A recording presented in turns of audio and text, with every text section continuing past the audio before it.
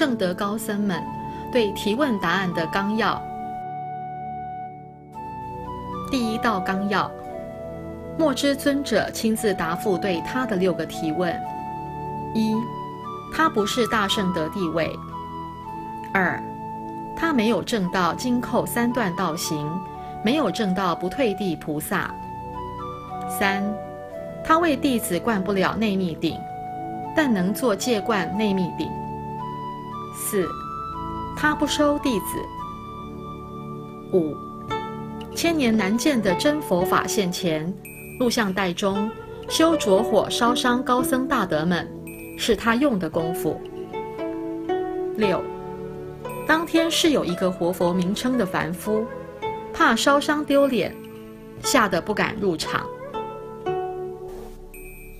第二道纲要，灌内密顶必须通过两个关，缺一关都不可。灌顶师同意，只是过了第一关，可是，一当对内密灌顶师有疑心或说假话，就犯根本戒了。佛菩萨本尊就不同意通过第二关，为你灌顶传法，哪怕就是勉强灌了顶，也不会有任何受用。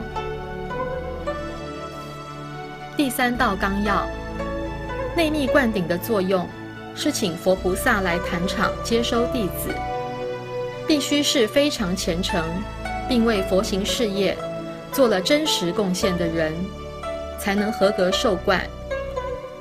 如果是尽了最虔诚供养具圣德，则可受到本尊法缘一品灌顶，或至宝甘露灭障，在十二小时之内亲见虚空佛菩萨，学到至高大法，当下转凡成圣，并举出一名大家见到的实证例子，详见第三道答案的全文内容。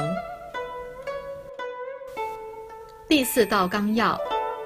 指出这世界上最好的修行修法，百分之百是南摩第三世多杰羌佛说的修行和修法，如解脱大手印的行和法，学羌佛的法已经度脱的有名有姓的高僧大德很多，无人能比，这就是对你的成就解脱的保证。第五道纲要。表明了南摩第三世多劫羌佛的观点，是各宗各派平等，各有所设。重点是诸恶莫作，众善奉行，依教行持。有了大悲善业本质，才能学到大佛法，快捷成就。但圣德们为什么强调内密的法规？为了行人们防止邪师骗子，这是一个方面。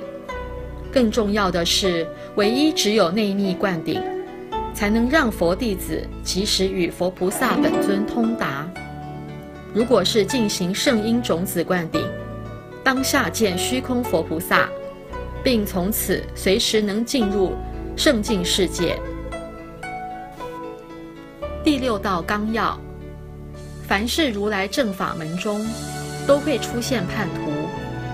因为正法的宗旨是利益众生、度生成圣，不准邪恶骗人，这就不符合邪师骗子传假佛法骗财骗色的目的了。由于正法挡了骗子们的财色之路，他们当然的视之为对立，所以必然为了走自己的诈骗之路，唯一只有选择叛变。第七道纲要：进行灌顶与进行加持，从现象上看，如开顶、如限量大圆满的出境都类似，其实完全是不同的性质。灌顶是佛菩萨亲自接收弟子，而加持是佛菩萨只做加持，并没有接收弟子。另外。有人把自己接受具圣德加持的显象，在弟子面前冒充是受的灌顶，甚至更缺德去欺骗弟子，含混说成是他的道行法力。这类人非常之多，都是凡夫加骗子。具体请咨询总部便知。第八道纲要：有为师之人，把自己接受大圣师的灌顶或加持，偷梁换柱来冒称他能为弟子灌内密顶。注意，凡是受过内密灌顶，必须要有一条度量金刚绳，没有这个信物，可能只是内力加持，或者根本就是骗人的。谁是什么资格？请咨询总部。假不了，有案记载。第九道纲要：何谓上金刚三处？三处即是地处，六十岁左右，一百七十斤左右的人，单手上两百磅重地处；天处，一百一十磅重；法处，展内力。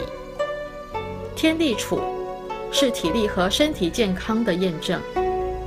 体重在一百七十斤，五十岁左右，上供地处二百一十磅；四十岁左右，上供二百二十磅；三十岁左右，上供二百三十磅；二十岁左右，上供二百四十磅。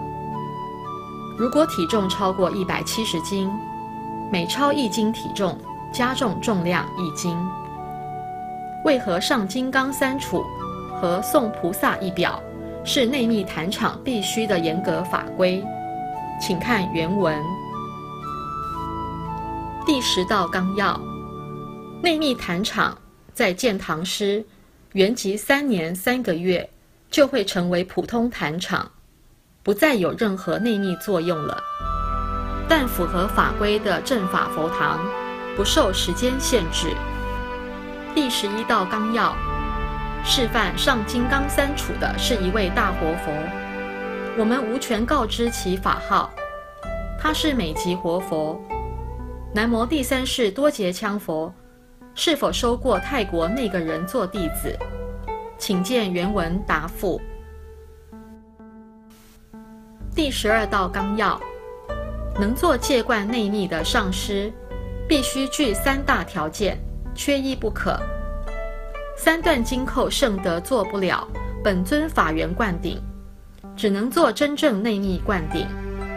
可是必须要在上了金刚三处，完成菩萨一表的真正内密坛场，才做内密灌顶。否则弟子修法不会有受用。